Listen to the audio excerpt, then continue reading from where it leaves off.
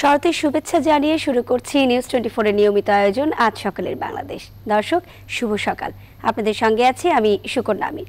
শুরুতেই ঘুরে আসব ইতিহাসের পাতা থেকে। দেখে নেব আজকের দিনে ঘটে যাওয়া উল্লেখযোগ্য সকল ঘটনা।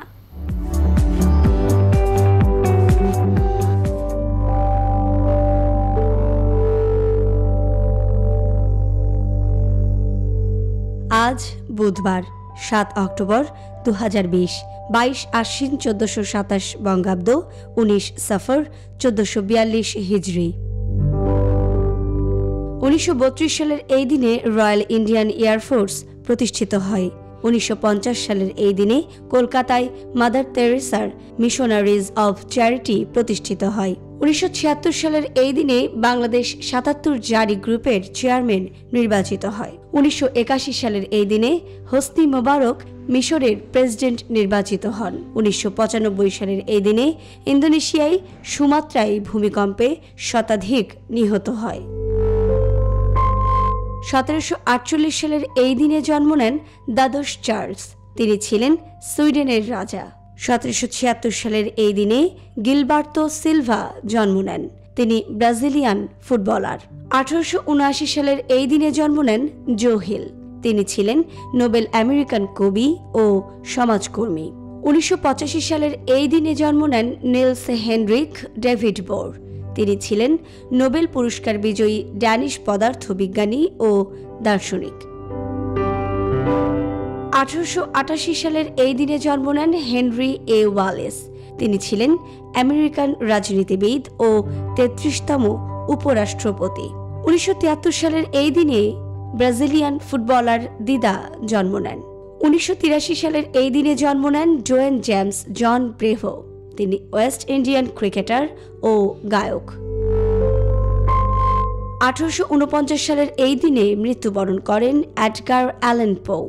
তিনি ছিলেন মার্কিন সাহিত্যিক। উনিশশো উনিশ সালের এই দিনে আলফ্রেড ডেকিন মৃত্যুবরণ করেন। তিনি ছিলেন অস্ট্রেলিয়ান আইনজীবী, রাজনীতিবিদ ও দ্বিতীয় প্রধানমন্ত্রী। উনিশশো সাতষট্টি সালের এই দিনে নরম্যান অ্যাঞ্জেল মৃত্যুবরণ করেন। তিনি ছিলেন নোবেল পুরস্কার বিজয়ী ইংলিশ সাহিত্যিক ও সাংবাদিক। দুই হাজার এগারো সালের এই দিনে রমিজ আলিয়া মৃত্যুবরণ করেন। তিনি ছিলেন আলবেনীয় রাজনীতিবিদ ও আলবেনিয়ার রাষ্ট্রপতি।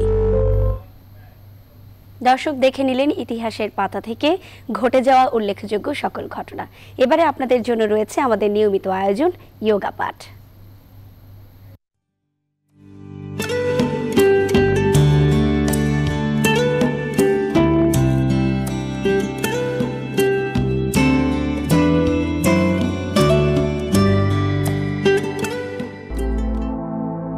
আসসালামু আলাইকুম।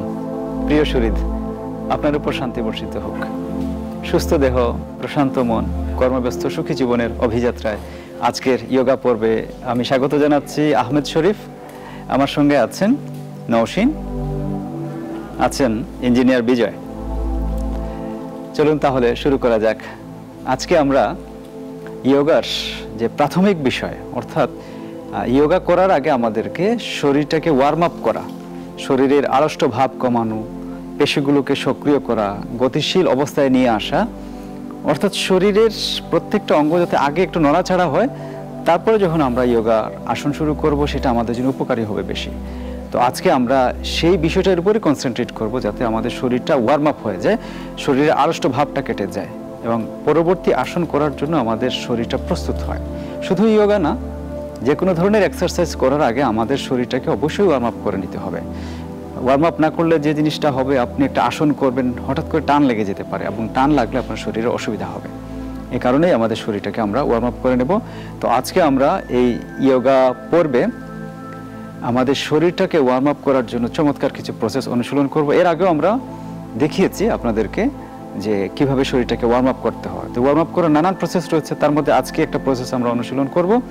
এটা আপনার প্রয়োজন অনুসারে আপনি এটাকে কাজে লাগাতে পারবেন। ভবিষ্যতে আমরা আরও এই ধরনের সূক্ষ্ম ব্যায়াম অথবা শরীরটাকে ওয়ার্ম আপ করে আরও প্রক্রিয়াগুলো দেখাবো যাতে যার জন্য যেটা প্রযোজ্য হয় সেটা নিয়ে যেন করতে পারেন। কারণ সব প্রক্রিয়া সবার জন্য প্রযোজ্য হয় না। এক একজনের শারীরিক অসুবিধা থাকে, কারও অন্য ধরনের অসুবিধা থাকে। তো সব মিলিয়ে আপনার জন্য যেটা প্রযোজ্য, বেছে বেছে নিয়ে আপনি শরীরটাকে ওয়ার্ম আপ করে নিতে পারেন। এই জন্য আমরা ধাপে ধাপে আরও বিষয়গুলো আপনাদের জন্য নিয়ে আসব পরবর্তীতে। তো আজকে আমরা একটা সহজ বিষয় নিয়েই দেখাবো, যেটাকে বলা হয় যৌগিক সূক্ষ্ম ব্যায়াম মাইক্রো সার্কুলেশন যাতে বডির সব অঙ্গের একটা এক্সারসাইজ হয়ে যায়। এবার আমরা তাহলে শুরু করি।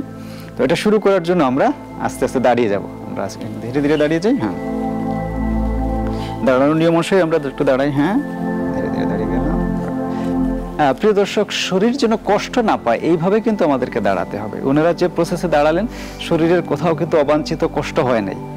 তো এটা আমাদেরকে খেয়াল রাখতে হবে। তাহলে শরীরে ব্যথা বেদনা কম হবে। আপনি অনেক ভালো থাকবেন। তো আমরা আজকের যে যৌগিক সূক্ষ্ম ব্যায়াম সেটা শুরু করছি। এটা দাঁড়িয়ে থেকেই আমরা করব। তো প্রথমে আমরা শুরু করব আমাদের উপরের অংশ থেকে। অর্থাৎ একদম মাথা থেকে শুরু করে ধীরে ধীরে আমরা নিচের দিকে নামবো। তো মাথার অংশগুলো মোটামুটি আমাদের কমনই থাকে, কারণ হ্যাঁ ঘাড় তারপরে কাত এই জিনিসগুলোকে এক্সারসাইজ করাতে হয়। তো সেগুলো মোটামুটি কমন থাকে। তো আমরা কমনটা দিয়ে প্রথমে শুরু করে, তারপর আস্তে আস্তে একটু ডিফারেন্ট ওয়েতে যাব। তো প্রথমেই আমরা কোমরে হাত রেখে দেবো হ্যাঁ দুই হাত আমরা কোমরে রাখি। মেরুদণ্ড আমাদের স্ট্রেট থাকছে, মেরুদণ্ড স্ট্রেট থাকছে। এই অবস্থায় আমরা প্রথমে দাঁড়ালাম।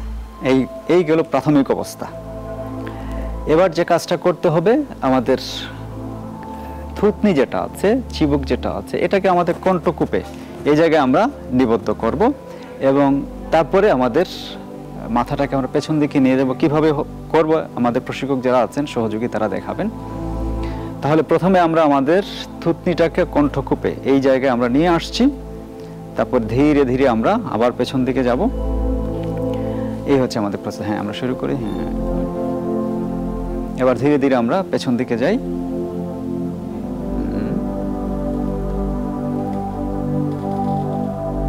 আবার সামনের দিকে আসি। প্রিয় দর্শক, এক্ষেত্রে একটা বিষয় আপনাদেরকে স্মরণ করে দিতে চাই, সেটা হচ্ছে যাদের সার্ভাইকাল স্পন্ডিলাইটিস আছে, ঘাড় ব্যথা আছে, অথবা ডাক্তার নিষেধ করেছেন যে ফরওয়ার্ড বেন্ডিং কিছু করা যাবে না, সামনের দিকে ঝুঁকা যাবে না, তাহলে সামনের দিকের এটা আপনি করবেন না। পেছন দিকেরটা করতে পারেন, কিন্তু সামনের দিকেরটা করবেন না। তো এটা আমরা আরেকবার একটু দেখে নেই, আরেকবার একটু করি আমরা। হ্যাঁ সামনের দিকে যাই। আস্তে আস্তে আবার পেছন দিকে যাই। এটা কয়বার করবেন? পাঁচ থেকে দশ বার আমরা অনুশীলন করতে পারি মিনিমাম। অর্থাৎ সামনের দিকে গেলেন পেছন দিকে গেলেন একবার হলো।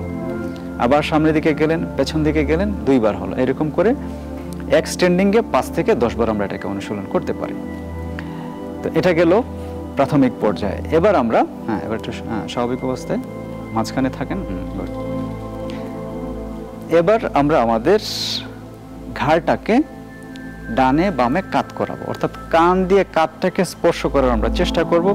প্রসেসটা একটু ব্যাখ্যা করে নিই, তারপরে আমাদের সহযোগী প্রশিক্ষক যারা আছেন তারা বলবেন, দেখাবেন। তারা দেখাবেন আপনাদেরকে যাতে এটাকে অনুশীলন করতে পারেন। কানটা কাদের সঙ্গে লাগানোর চেষ্টা থাকবে? কান কাঁধে লাগবে না, কিন্তু লাগানোর চেষ্টা থাকবে। তাহলে প্রসেসটা সঠিক হবে। তাহলে আমরা শুরু করি প্রথমে ডান দিক থেকে। হ্যাঁ প্রথমে আমরা ডান দিকে যাই, যার যার ডান দিকে। হ্যাঁ।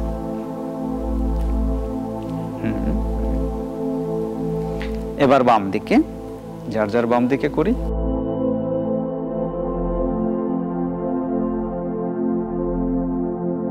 হ্যাঁ সোজা হলাম। আবার ডান দিকে, বাম দিকে, এরকম করতে থাকি আমরা হ্যাঁ করতে থাকি। প্রিয় দর্শক, এটা করলে কি হবে? আমাদের এই যে ঘাড়ের, এই জায়গার যে মাসল যেগুলো আছে, সেগুলোর এক্সারসাইজ হচ্ছে। সেগুলোর স্ট্রেস টেনশন যেগুলো আছে সেগুলো কিন্তু দূর হয়ে যাচ্ছে। এবং আপনি একটা রিল্যাক্স ফিল করছেন। যখন এই আসনটা, এই যৌগিক সূক্ষ্ম ব্যায়ামটা করা হয়, এটা একটা রিল্যাক্স আপনি ফিল করবেন। তো এটাও ডানে বামে মিলে হচ্ছে এক রাউন্ড বা এক প্রস্থ। এটা আমরা কমপক্ষে পাঁচ প্রস্ত থেকে দশ প্রস্ত এটাকে অনুশীলন করতে পারি। তাহলে আমাদের ঘাড়ের ডানে বামে হয়ে গেল। এবার একটু স্বাভাবিক অবস্থায় মাঝখানে থাকেন মধ্যবর্তী অবস্থায়। এবার আমরা আমাদের কাঁধটাকে রোটেট করব, মাথাটাকে রোটেট করব। অর্থাৎ একটা মুছড় মুছড় দেবো আমরা, ডান দিকে, বাম দিকে। তো ডান দিকে একবার করব, বাম দিকে একবার করব। আমাদের প্রশিক্ষক যারা আছেন, তারা এখন একটু দেখাবেন। হ্যাঁ আমরা একটু ডান দিকে মোচড় দেই। হ্যাঁ না, ডান দিকে হ্যাঁ হ্যাঁ না নো নো হ্যাঁ এটা গুড হ্যাঁ এবার ওইদিকে হ্যাঁ।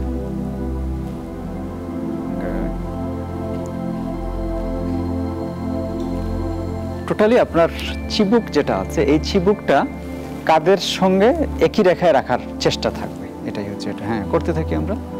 প্রথমে ডান দিকে করলাম, তারপরে সামনে, মাঝখানে আসলাম, তারপরে আবার বাম দিকে গেলাম। এই হচ্ছে আবার সামনে আসলাম, এই হচ্ছে এক রাউন্ড এরকম করে আমরা পাঁচ থেকে দশ রাউন্ড করতে পারি এক্সটেন্ডিংয়ে হ্যাঁ করতে থাকি আমরা। তা ঘাড়ের মাসুলের জন্য খুবই উপকারী রিল্যাক্সেশনের জন্য খুবই উপকারী। আবার অনেক সময় এই ঘাড় যাদের স্টিফ হয়ে থাকে সার্ভাইকাল স্পন্ডিলাইটিস হয় হ্যাঁ, এটা নাড়াচাড়া করতে পারেন না পেইন হয় ব্যথা হয় তাদের জন্য খুবই উপকারী। তো আমরা উপরের অংশের অনেকটা করে ফেললাম এবার আস্তে আস্তে আমাদের ঘাড় হ্যাঁ এবং হাত এই জায়গাগুলিকে আমরা ওয়ার্ম আপ করাবো এগুলোকে আমরা এক্সারসাইজ করাবো। এবার তাহলে আমরা হ্যাঁ স্বাভাবিক অবস্থায় থাকি এবার হাত দুটোকে আমরা ছেড়ে দেব হ্যাঁ হাত দুটোকে ছেড়ে দিই।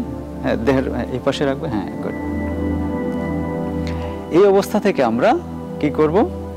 আমাদের কাদের এক্সারসাইজ করাবো? বা এই জায়গার যে রিব আছে রিবের এক্সারসাইজ হবে ফুসফুসের এক্সারসাইজ হবে এবং এগুলার ওয়ার্ম আপ হবে। আমরা কি প্রথমে আমাদের ডান কাতটাকে উপরের দিকে তুলবো। হ্যাঁ আমরা একটু ডান কাতটাকে উপরের দিকে তুলি। হ্যাঁ ডান কাত হ্যাঁ। আস্তে আস্তে নামিয়ে ফেলি। এবার বাম কাতটাকে উপরের দিকে তুলি। হ্যাঁ বাম কাত। হ্যাঁ ছেড়ে দেই। তাহলে প্রিয় দর্শক, আপনারা দেখলেন যে প্রথমে ডান কাতটাকে আমরা তুললাম হ্যাঁ হাত কিন্তু আমাদের দেহের সঙ্গে লাগানো থাকছে। প্রিয় দর্শক, দেখেন যে হাত কিন্তু আমাদের শরীরের সঙ্গে লাগানো থাকছে। লাগানো থাকলে এই জায়গাটা বেশি, উপরের দিকে উঠবো এবং স্ট্রেচ স্ট্রেচিংটা বেশি হবে। এটা একটু খেয়াল রাখতে হবে হ্যাঁ গুড একটু নামিয়ে ফেলেন। তাহলে আরেকবার আমরা অনুশীলনটা একটু দেখে নেই। প্রথমে আমরা ডান দিক থেকে শুরু করি। একটু ডান দিক থেকে করেন হ্যাঁ ডানটা তুলেন হ্যাঁ গুড। এবার বামটা। বাম হাত হ্যাঁ। গুড এবার স্বাভাবিক অবস্থায় থাকেন। ডানে বামে মিলে হচ্ছে এক রাউন্ড বা এক প্রস্থ, এটাকে আমরা পাঁচ থেকে দশ বার করতে পারি, পাঁচ থেকে দশ প্রস্থ। এবার আমরা আমাদের দুই হাত একই সঙ্গে এভাবেই থাকছে। এবার আমরা একটা বৃত্ত আঁকার চেষ্টা করব। হ্যাঁ কাঁধটাকে উপরের দিকে নেব, তারপরে সামনের দিক থেকে একটা বৃত্ত আঁকার চেষ্টা করব। হ্যাঁ তাহলে টোটাল টোটাল এই যে এই জায়গাটুকু আছে, এই জায়গাটুকু কাঁধ, হাত, এগুলোর এক্সারসাইজ হবে। হ্যাঁ তাহলে আমরা একটু শুরু করি হ্যাঁ এটা বৃত্ত আঁকার চেষ্টা করেন। দুই কাঁধ দিয়ে একসঙ্গে, দুইটা কাঁধ দিয়ে একসঙ্গে আমরা একটা হ্যাঁ বৃত্ত আঁকার চেষ্টা করছি। এই। দেহের সঙ্গে আমাদের হাতটা লাগানোই থাকছে, দেহের সঙ্গে আমাদের হাতটা লাগানোই থাকছে। হ্যাঁ উঠছে, নামছে উঠছে, নামছে। একটা সার্কেল করার চেষ্টা। এবং একটা রিল্যাক্স ফিল করুন। আপনি যখন এটা করবেন, দেখবেন যে একটা আরাম লাগছে আপনার হ্যাঁ? বডিতে রক্ত সঞ্চালনও বাড়ছে। হ্যাঁ সেই সঙ্গে আপনার যে এইখানকার মাসল নার্ভ যেগুলো আছে, সেগুলো খুব শক্তিশালী হচ্ছে। হ্যাঁ করতে থাকে গুড এটাকেও আমরা পাঁচ থেকে দশ বার করতে পারি। এটাকেও আমরা পাঁচ থেকে দশ বার করতে পারি। চমৎকার একটা এক্সারসাইজ তো এই সাইড গেল এবার আস্তে আস্তে আমরা আরও নিচের দিকে নামতে শুরু করব। এবার আমরা যে কাজটা করব যে আমাদের হাত দুটোকে আমরা প্রসারিত অবস্থায় করব হ্যাঁ হাত প্রসারিত করে হ্যাঁ একটু প্রসারিত করুন হ্যাঁ এইভাবে হ্যাঁ হাতের তালু সামনের দিকে গুড কাত বরাবর থাকবে। এবার আমরা দেহটাকে মোচড় দেবো হ্যাঁ একটু পরে আমরা মোচড় দিয়েছি প্রক্রিয়াটা একটু আমরা ব্যাখ্যা করে নিই। হাত দুটো এইভাবে থাকল এবং আমাদের পায়ের যে ডিস্টেন্স এই ডিস্টেন্সটাকে আমরা বাড়িয়ে নেব একটু পায়ের ডিস্টেন্সটাকে আমরা একটু বাড়িয়ে নিই হ্যাঁ হ্যাঁ আর একটু আসেন মাঝখানে হ্যাঁ, এদিকে আসেন হ্যাঁ এবার আমাদের শরীরটাকে আমরা মুচড় দেবো, মাথা সহ সব কিছু দিয়ে। প্রথমে আমরা ডান দিকে যাব, তারপর বাম দিকে। হ্যাঁ গুড হ্যাঁ দেন হ্যাঁ ওইদিকে যান। হ্যাঁ করতে থাকেন। প্রিয় দর্শক, আপনারা দেখলেন চমৎকার একটা দৃশ্য। ডানে যাওয়া হচ্ছে, বামে যাওয়া হচ্ছে। এটা একটা উপকারী। আপনি যখন এটা করছেন টোটাল স্পাইনের একটা এক্সারসাইজ হচ্ছে। টোটাল স্পাইনে ব্লাড সার্কুলেশন বাড়ছে, আমাদের যে সুষমনা কাণ্ড আছে, আমাদের যে মেরুদণ্ডের মধ্যস্থিত যে নার্ভ আছে, সেই নার্ভগুলো শক্তিশালী হচ্ছে। তো এটাকে আমরা অনুশীলনে রাখব, কয়বার করব? ডানে বামে মিলে হচ্ছে এক রাউন্ড এইভাবে পাঁচ থেকে দশ রাউন্ড আমরা মিনিমাম এটাকে অনুশীলন করতে পারি। হ্যাঁ। চমৎকার। হ্যাঁ চমৎকার একটা দুল খাচ্ছে বডিটা। এবং সব অংশেরই কিন্তু এক্সারসাইজ হয়ে যাচ্ছে।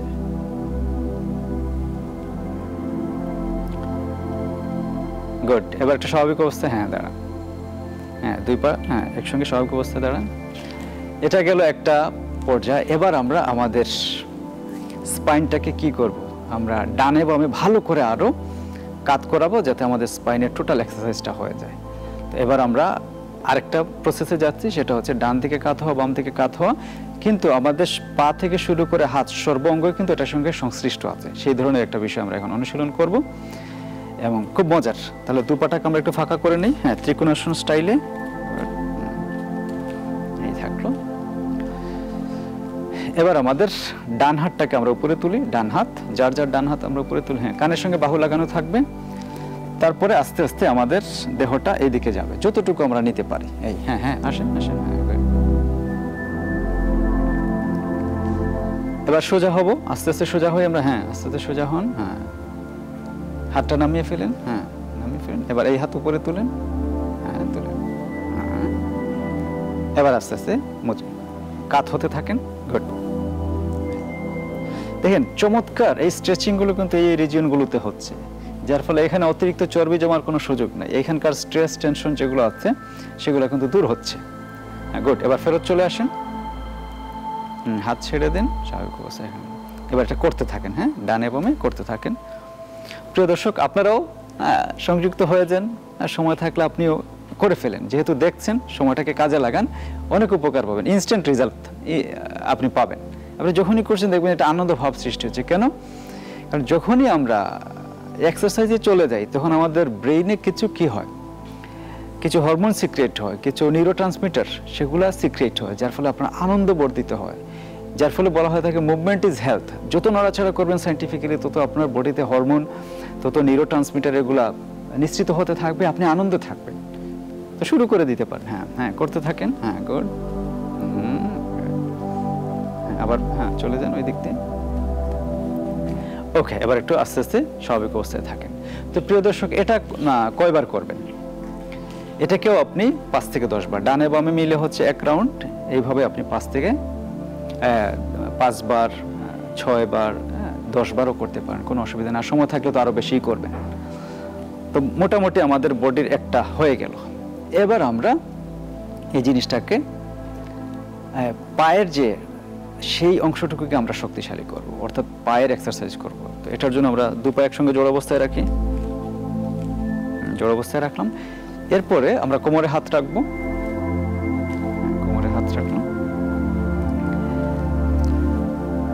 যাদের প্রিয় দর্শক হাঁটতে কষ্ট হয়, সিঁড়ি ওঠা নামা করতে কষ্ট হয়, পাহাড়ে যদি কখনো যান, পাহাড়ে উঠতে গেলে কষ্ট হয়, তাদের জন্য খুবই জরুরি এক্সারসাইজ যাদের যাদের পায়ে বাত হয় এবং সেই জায়গাগুলোতে পেইন করে, সকালে ঘুম থেকে উঠলে পাটা কেমন যেন লাগে, তাদের জন্য খুবই উপকারী। আমরা কি করব? দু পায়ের আঙ্গুলের উপর ভর দিয়ে দাঁড়াবো, পরক্ষণে গোড়ালির উপর ভর দিয়ে দাঁড়াবো। আমরা একটু দেখে নেই? হ্যাঁ। পায়ের আঙ্গুলের উপর ভর দেন? হ্যাঁ গুড।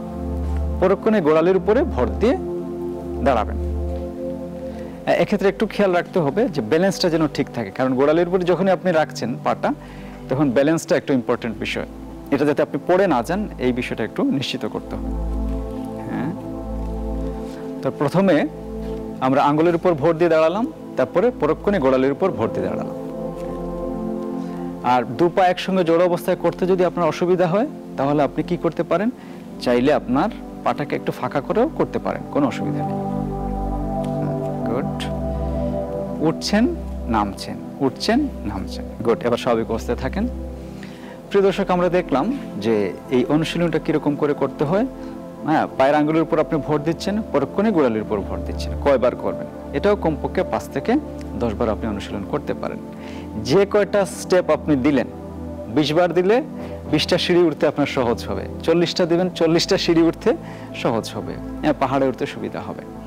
তো এই কারণে পায়ের শক্তি যদি বাড়াতে চান, তাহলে এই এই যে প্রসেস আমরা যেটা দেখালাম, সেই প্রসেসটাকে অনুশীলন করবেন। দেখবেন যে আপনি অনায়াসে দৌড়াচ্ছেন, হাঁটছেন, চলছেন, ফিরছেন, আপনার কোনো অসুবিধা হচ্ছে না। এটা হচ্ছে যৌগিক সূক্ষ্ম ব্যায়াম। আপনি আসন অনুশীলনের আগে আপনাকে এটাকে রপ্ত করতে হবে। আসন অনুশীলনের আগে যদি আপনি করেন টোটাল বডির ব্লাড সার্কুলেশন বেড়ে যাবে, প্রত্যেকটা অঙ্গের আড়ষ্ট ভাব সেটা কেটে যাবে ওয়ার্ম আপটা আপনার জন্য সহজ হয়ে যাবে। তো ওয়ার্ম আপটা জরুরি। যে কোনো এক্সারসাইজ করেন সেটা ইয়োগা হোক অন্য ধরনের ফিটনেস টাইপের যে কোনো ধরনের এক্সারসাইজ হোক সেটা করতে গেলে আপনাকে বডিটাকে ওয়ার্ম আপ করে নেওয়া প্রয়োজন। যেটা আমরা করলাম এটার মধ্যে দিয়ে সেই কাজটাই হয়ে যায়। তো প্রিয় দর্শক আপনাদের সুবিধার্থে আমরা কি করি?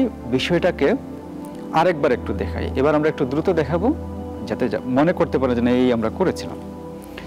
তাহলে আমরা প্রথমে শুরু করি আমাদের চিবুকটাকে আমরা সামনের দিকে নিবদ্ধ করি হ্যাঁ অর্থাৎ কণ্ঠকূপে নিবদ্ধ করি হ্যাঁ এক কোমরে হাত রাখছে হ্যাঁ গুড এবার পেছন দিকে যাই। এবার স্বাভাবিক অবস্থায় মাঝখানে থাকি। এই হচ্ছে একটা প্রসেস এটা আমরা পাঁচ থেকে দশ বার করতে পারি।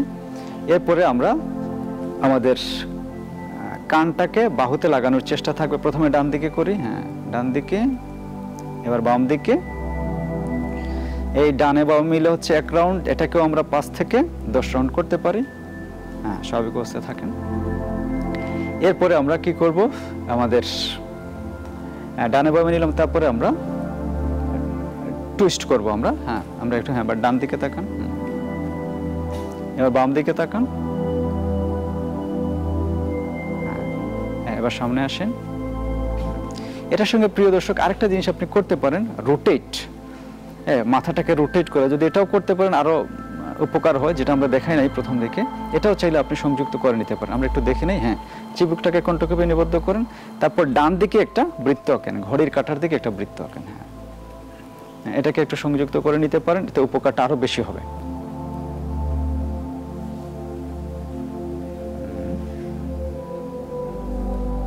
গুড।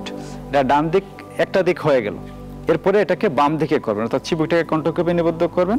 বাম দিক থেকে একটা বৃত্ত রোটেট করে একটা বৃত্ত আঁকার চেষ্টা করবেন। খুবই প্রশান্তিদায়ক, খুবই আরামের। যখনই করবেন, ঘুম থেকে ওঠার পরে যদি আপনি করেন, দেখবেন যে আলস্য ভাবটা আপনার কেটে যাচ্ছে। পুরো দিন, দিনটা আপনার একদম ফ্রি রিল্যাক্স মুডে আপনি কাটাতে পারছেন। হ্যাঁ এবার স্বাভাবিক অবস্থায় থাকেন। আবার এটাকে রোটেট করে দেখালাম। এরপরে আমরা আমাদের ডান কাতটাকে একটু উপরের দিকে তুলি। হ্যাঁ ডান হাত ছেড়ে দিন। হাত ছেড়ে দিন হুম, ডান কাত। হ্যাঁ তারপরে বাম কাত। হ্যাঁ। তাহলে ডান কাত, বাম কাত হয়ে গেল। এরপরে আমরা আমাদের দুই কাতটাকে, এটাও আমরা পাঁচ থেকে দশ বার করব। তারপর আমাদের দুই কাতটাকে একই সঙ্গে উঠাবো এবং সামনের দিক থেকে একটা বৃত্ত আঁকার চেষ্টা করব। হ্যাঁ সামনের দিক থেকে একটা বৃত্ত আঁকার চেষ্টা করি। এটাও পাঁচ থেকে দশ বার আমরা করব। এরপরে আমরা উল্টো দিক থেকে, পেছন দিক থেকে এটাকে রোটেট করার চেষ্টা করব। হ্যাঁ পেছন দিক থেকে করেন। হ্যাঁ এবার পেছন দিক থেকে আরেকটা বৃত্ত আঁকার চেষ্টা করছি।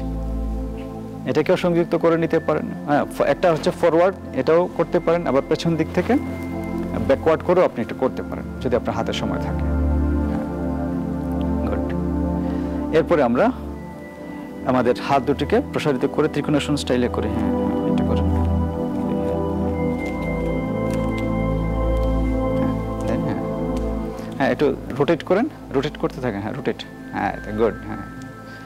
ডানে, বামে যে কোনো দিকে আপনি রোটেট করার সমস্যা নাই, কিন্তু করতে হবে। দুই সাইড মিলেই করতে হবে। গুড এবার একটু স্বাভাবিক অবস্থায় থাকেন, একটু স্বাভাবিক অবস্থায় চলে আসেন। এবার হ্যাঁ হ্যাঁ এইভাবে থাকেন, আবার ত্রিকোণাসন করেন। এটাই।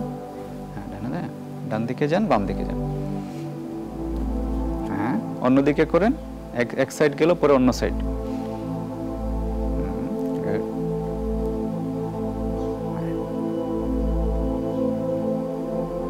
ছেড়ে দেন হ্যাঁ।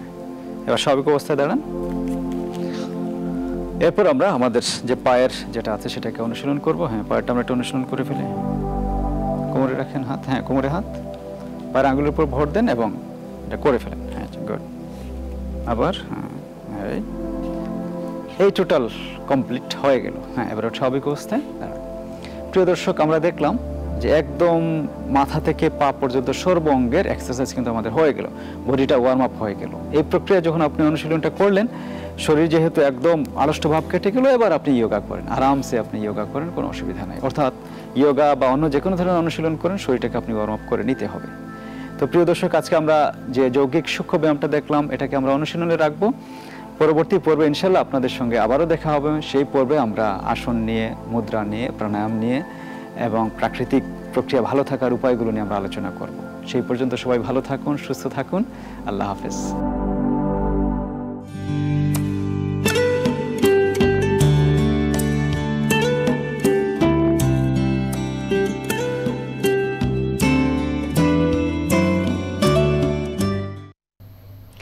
দর্শক দেখে নিলেন ইয়োগা পাঠ। এ পর্যায়ে নিচ্ছি ছোট্ট একটি বিরতি, ফিরছে একটু পর। সঙ্গেই থাকুন।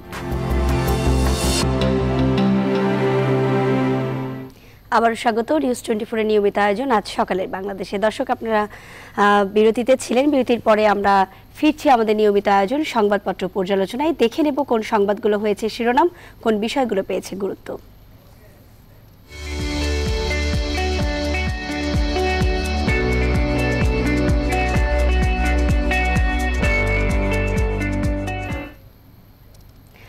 দর্শক, আমার হাতে বেশ কয়েকটি পত্রিকা রয়েছে এবং সেই সাথে কিছু অনলাইন পত্রিকাও রয়েছে। আমরা সেই পত্রিকাগুলোর শিরোনামগুলো কি হয়েছে দেখে নেব এক নজরে। শুরু করছি বাংলাদেশ প্রতিদিন দিয়ে। বাংলাদেশ প্রতিদিনের আজকের প্রধান শিরোনাম। দেশে দেশে কঠোর শাস্তি, ক্ষোভ, বিক্ষোভ অব্যাহত সারা দেশে এবং আরেকটি শিরোনামের মধ্যে রয়েছে, ধরা পড়ছে ধর্ষক, তবু থামছে না ধর্ষণ। চলে যাব পরের সংবাদপত্রে। আমার হাতে রয়েছে দৈনিক কালের কণ্ঠ পত্রিকা কালের কণ্ঠ পত্রিকার প্রধান শিরোনাম, সংঘবদ্ধ নিপীড়নের পেছনে বড় মদত, মাঠের প্রতিবাদে নেই নারী নেতৃত্বরা। প্রথম আলোতে চলে যাচ্ছি। প্রথম আলোর প্রধান শিরোনামের মধ্যে রয়েছে কোভিডের প্রণোদনা ছিল অত্যন্ত সময় উপযোগী, বলছেন প্রধানমন্ত্রী। কৃষ্ণ গহ্বর নিয়ে গবেষণার জন্য তিনজন পেলেন পদার্থে নোবেল এবং আরেকটি শিরোনাম করা হয়েছে, এইচএসসি পরীক্ষা কবে সিদ্ধান্ত জানানো হবে বুধবার। দর্শক, চলে যাব পরের পত্রিকা আমার হাতে রয়েছে দৈনিক সমকাল পত্রিকা। দৈনিক সমকাল পত্রিকার যে প্রধান শিরোনাম। চল্লিশ লাখ চাকরি প্রার্থী অপেক্ষায়। এবং আরেকটি শিরোনামের মধ্যে রয়েছে বাদল, দেলোয়ার ও সোহাগ রিমান্ডে। দ্য ডেইলি স্টার রয়েছে এই মুহূর্তে আমার কাছে। দ্য ডেইলি স্টারের প্রধান শিরোনাম কালপ্রিটস ডিজার্ভ ডেথস এবং বেশ আরও কয়েকটি শিরোনামের মধ্যে রয়েছে miss Cairns bet man after failing to rape his daughters again the Daily Star রয়েছে আমার হাতে। দ্য ডেইলি স্টারের প্রধান শিরোনাম এক নজরে দেখে নেব। Delwar raped her several times before এবং আরেকটি শিরোনামের মধ্যে রয়েছে স্টুডেন্টস লেভার্স ওটস অ্যাফেক্টেড দর্শক, এই পর্যায়ে রয়েছে আমার হাতে বেশ কিছু অনলাইন পত্রিকা। অনলাইন পত্রিকার মধ্যে রয়েছে বাংলা নিউজ টোয়েন্টি ফোর এবং তার শিরোনাম, রোহিঙ্গা শিবিরের সংঘর্ষে নিহত চার। এইচএসসি কবে? শিক্ষামন্ত্রী জানাবেন বুধবার। এবং আরেকটি শিরোনামের মধ্যে রয়েছে, ধর্ষণ অপরাধকে ছাড় দেবে না সরকার। বাংলা ট্রিবিউনে চলে যাচ্ছি। বাংলা ট্রিবিউনের প্রধান শিরোনাম। অটিস্টিক শিশুদের সাধারণ বিশ্ববিদ্যালয়ে ভর্তি নেওয়ার আহ্বান শিক্ষা উপমন্ত্রীর। এবং আরেকটি শিরোনামের মধ্যে রয়েছে, বছর শেষ হওয়ার আগেই ভ্যাকসিন আসছে, বলছে ডাব্লিউএইচও এবং নারী নির্যাতনের প্রতিবাদে সারা দেশে বিক্ষোভ করবে ইসলামী আন্দোলন। এই মুহূর্তে রয়েছে দর্শক, আমার হাতে আনন্দবাজার পত্রিকা এবং আনন্দবাজার পত্রিকার প্রধান শিরোনাম। মনীষ খুনের প্রতিবাদে কৈলাস মুকুলেরা দূরত্ব রাখছে দিলীপ এবং আইটি শিরোনামের মধ্যে রয়েছে দুর্গাপুজো অন্যান্য উৎসবের। নিয়ে রাজ্যগুলোকে ফের সতর্ক করল কেন্দ্র। দর্শক, শেষ রয়েছে আমার হাতে পত্রিকা the New York Times. The New York টাইমসের প্রধান শিরোনাম, Trump abruptly ends aid talks as virus upends top ranks of government দর্শক, এই ছিল আমার হাতে প্রধান প্রধান পত্রিকার প্রধান শিরোনামগুলো এবং এই পর্যায়ে আমাদের সাথে আজকে যুক্ত হচ্ছেন তহিদুল হক, ঢাকা বিশ্ববিদ্যালয়ের অধ্যাপক এবং সমাজ ও অপরাধ বিষয়ক গবেষক তহিদুল হক।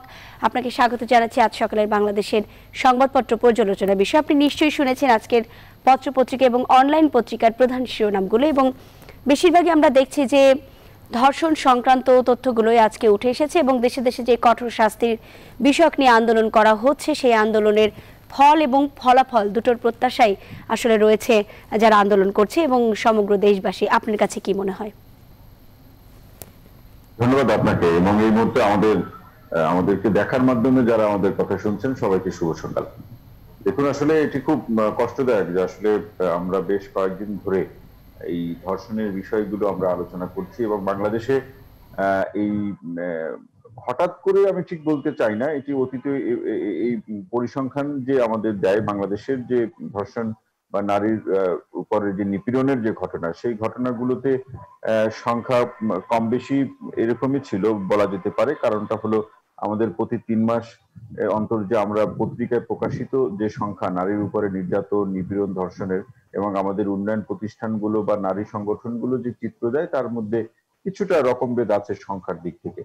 কিন্তু বিষয়টি হলো যে আজকে এত এই নারীর প্রতি ধর্ষণ বা নিপীড়নের বিষয়ের সংখ্যাটি এত কেন বাড়লো এবং কীভাবে এত এত নিষ্ঠুরতা এখানে নিষ্ঠুরতার মধ্য দিয়ে বা এতটা নিষ্ঠুর কীভাবে আমরা হচ্ছি বা মানুষ কেন এত নিষ্ঠুর হচ্ছে?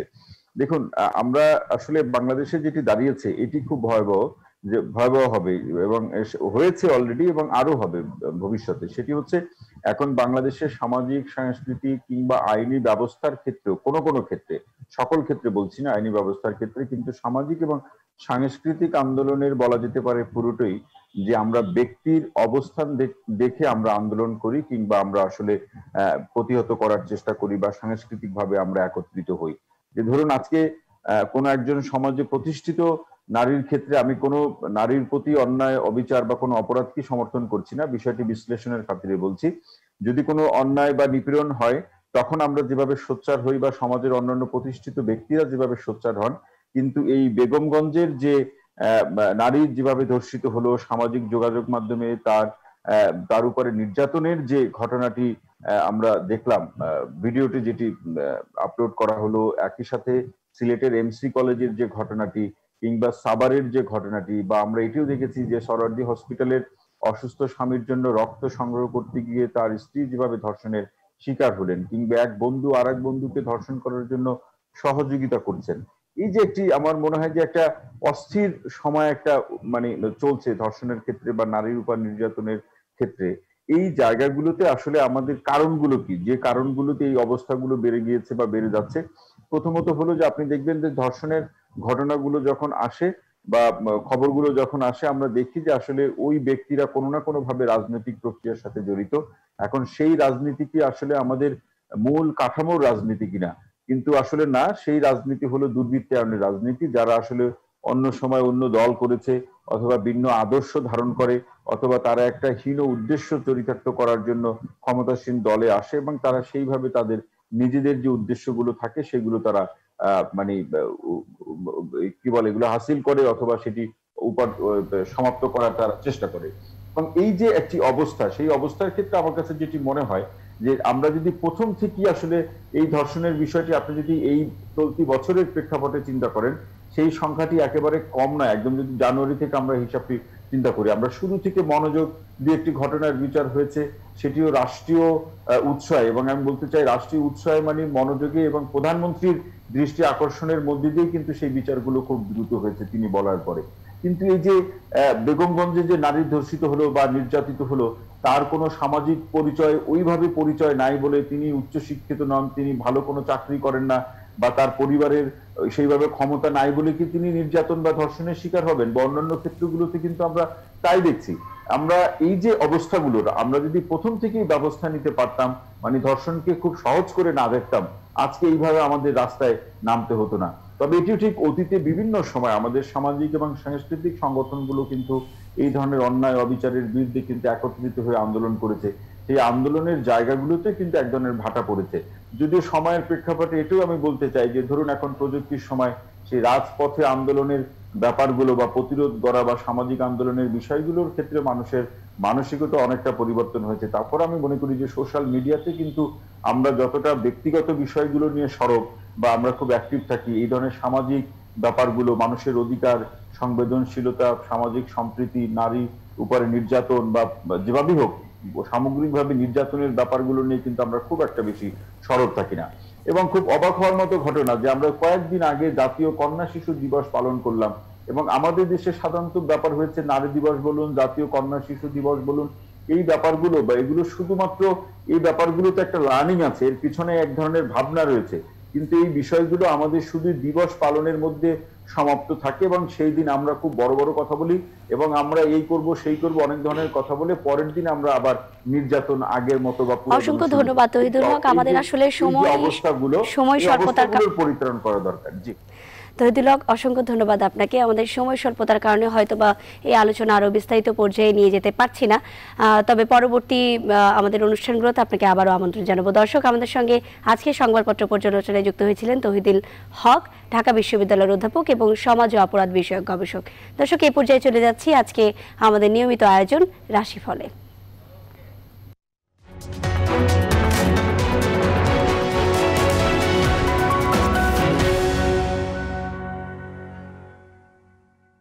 অসংখ্য ধন্যবাদ সেই সঙ্গে নিউজ টোয়েন্টি ফোরের পক্ষ থেকে সকল দর্শকদের জন্য আন্তরিক শুভেচ্ছা ও অভিনন্দন।